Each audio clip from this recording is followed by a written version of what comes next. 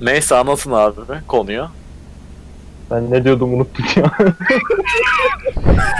Furkan önden, önden git Furkan. Yükselin sen Yükselin.